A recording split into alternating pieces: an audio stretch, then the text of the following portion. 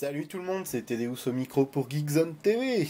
Alors, on se retrouve euh, très rapidement pour un petit test de... Bah, on va comparer simplement la vitesse, euh, la vitesse des deux téléphones. Voilà, on se retrouve tout de suite.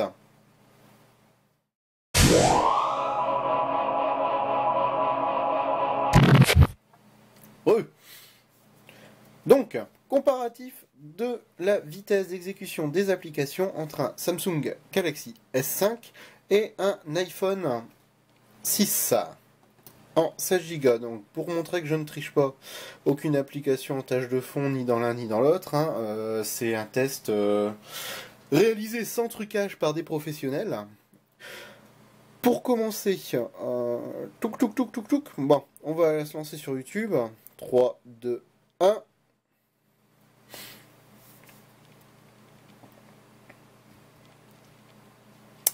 Il se lance après, il charge un petit peu plus vite. Euh, c'est kiff kiff. Hein. Là, on est, on est kiff kiff sur ce test-là. Alors, on ferme YouTube. Tac, on ferme YouTube. On va tester maintenant sur, euh, bah sur des jeux. Euh, on va pas tester Clash of Clans, on va tester Eight Boy Pool qui est un jeu de billard.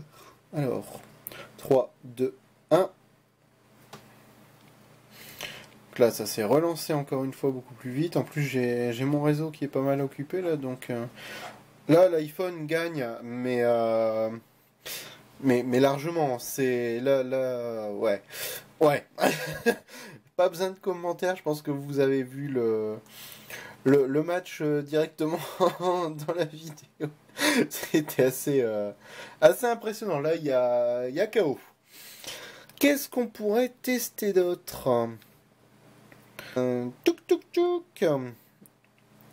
Alors, c'est un test à chaud, hein, il n'y a rien de prévu, donc j'improvise euh, à 256% pour être exact. Donc ensuite, qu'est-ce que je peux vous montrer? Euh, Twitch, tiens, application réseau vidéo, on va tester ça. 3, 2, 1. Alors là, c'est kiff kiff, mais avantage, léger avantage quand même pour, euh, pour l'iPhone, encore une fois.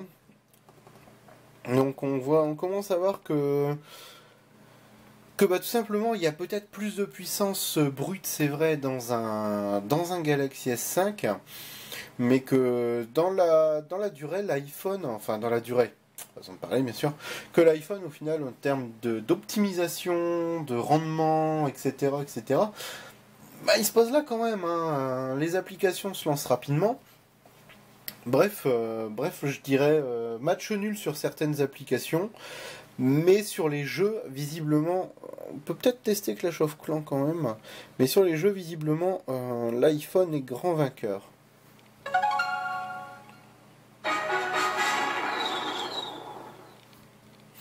Ah, J'ai même eu un message de rechargement de l'application. J'ai le temps de lancer deux fois l'application avant qu'elle soit, voilà, avant qu'elle soit chargée, ne serait-ce que d'un côté. Donc sur les jeux, on voit que sur les, choses qui sont quand même assez gourmandes et qui demandent des temps de chargement, bah, l'iPhone, euh, l'iPhone en tire son, tire son épingle du jeu plus que pas mal. hein. Voilà, donc euh, comme je disais au niveau des jeux, euh, des jeux, l'iPhone a visiblement l'avantage. Après, au niveau des applications type YouTube, Instagram, ça a l'air plus, un petit peu plus mitigé. En vitesse photo, euh, pour avoir fait quelques photos avec l'iPhone, c'est beaucoup plus rapide qu'avec le Samsung. J'ai pris énormément de plaisir à faire des photos avec l'iPhone. D'ailleurs, si vous n'avez pas vu pour les vidéos, je vous invite à retourner voir la vidéo de déballage de l'iPhone 6 où dedans il y a un petit passage vidéo en accéléré ou ralenti, ce qui est plutôt intéressant.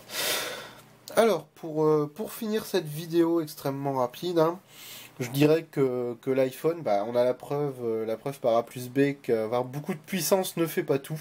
Il y a aussi derrière une, une idée d'optimisation. Il faut que le logiciel tourne bien, il faut que l'écosystème soit, soit cohérent, ce qui est un écosystème cohérent, c'est-à-dire une OS légère, euh, bien étudiée, rapide, sans, super, sans gadgets, sans superflu, sans rien de, rien de superflu.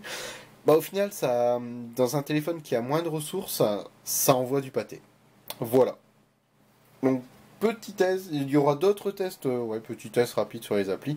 D'autres tests vont venir sur d'autres applications, je pense. Et euh, donc, retrouvez-moi dans les prochaines vidéos. Ciao, bonne soirée, bonne journée en fonction de quand vous regardez, et à bientôt